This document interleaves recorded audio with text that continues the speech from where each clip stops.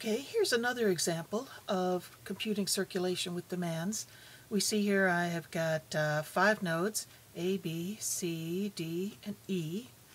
Um, I've got two of them are sources, A and B, and two of them are sinks, D and E.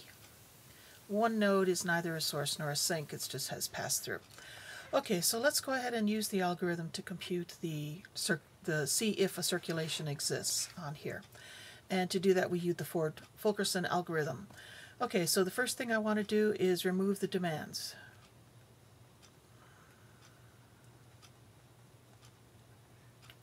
And to remove the demands, we create a super source and a super sink.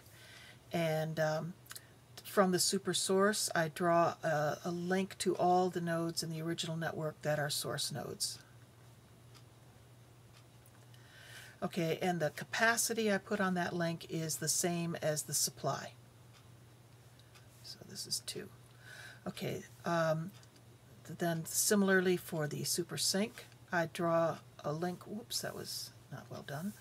I draw a link from the sink nodes, which are D and E, to my super sink, and I label them with the uh, demands, the sink demands on those nodes. So this would have a 2, and then the D gives a 3 to that link. And then the rest of the network is just as it originally is, so I can just copy that over.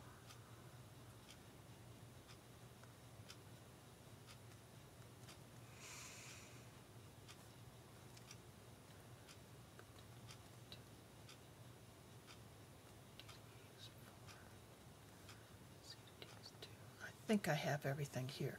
One, two, three, four, five, six, seven. One, two, three, four, five, six, seven. Okay, looks good. Now I use the Ford Fulkerson to compute uh, maximum flow on this network and then go back and get the circulation on the original network. So to do that, let's um, change color here. So I'm just going to do it right here. So my first augmenting path will be, let's say, S to A, C, ET, and that gives me a bottleneck of minimum 3, 2, 3, 2, so bottleneck of 2. So I update my flows on all those.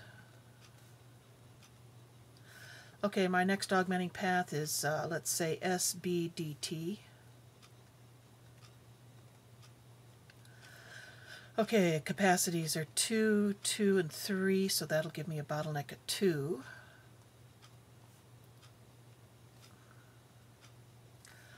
Okay, next, uh, let's see, I could have S to A to B to C to D to, to T. S to A to B to C to D to T. Okay, bottleneck. Well, I'm in one, two, two, two, one. So the bottleneck is one. Let me update those flow numbers now. C to D will have one, and D to T will have 2 plus 1 makes 3. Okay, so there's the maximum flow on the modified network. Uh, let us now um, let us now go back and see if this maximum flow then gives us the circulation.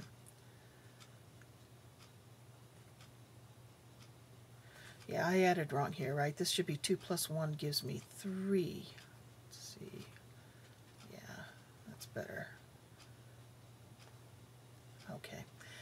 S to A. So I have S to A should have 2 plus 1 gives me 3.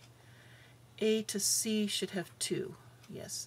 C to E should have 2. E to T is 2. Okay. S to B is 2. B to D is 2. And D to T is 2 plus 1 makes 3. All right. S to A was 1 plus 2 makes 3. A to B is 1. B to C is 1. C to D is 1 and d to t is 1 plus 2. d to t is 1 plus 2, so that's 3. Okay, so I've recovered from my little addition error right there. So now let us go back and see what the what the circulation is, and I do that by uh, replacing those demands. So my original network looks like so. Okay, and my original demands, uh, minus 3 supply, uh, minus 2 supply. And then on D I have uh, plus 3 and E is plus 2. Great. Now I just copy all my links over with their capacities and flows. So A to C is 2 over 2. C to E is 2 over 3. A to B is 1 over 2. Uh, B to D is 2 over 2. D to E is 3 over 3. Okay, B to C is 1 over 2 and um, C to D is 1 over 2 and uh, whoops this D to E is actually 0 over 4 right it's this thing right here. This right here refers to um, this supply right here this this demand right here okay so let's make sure I did that right 2 over 2 2 over 3 uh, A to B is 1 over 2. B to C is 1 over 2. B to D is 2 over 2. C to D is 1 over 2. C to E is 2 over 3. And D to E is 1 over 2.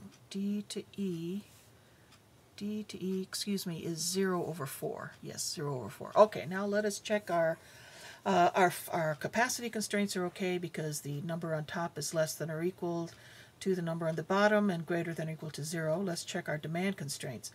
Here, coming out of 3, I have 1 plus 2 that matches my minus 3. In B, I have 1 coming in, and then I need to subtract 1 and subtract 2. So that gives me a minus 2 that matches my supply constraint right there. 3, this is just a conservation, I have 2 plus 1 coming in and 2 plus 1 going out. So that's okay there. D, I have 1 plus 2 coming in and I have 0 going out. So that gives me my 3 for my sink demand.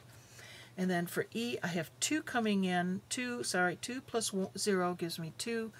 Nothing coming out, so that matches my 2 for my sink demand right there. So I do have a circulation. Uh, there is a feasible solution, and I have found it right here Okay, and this is replace demands.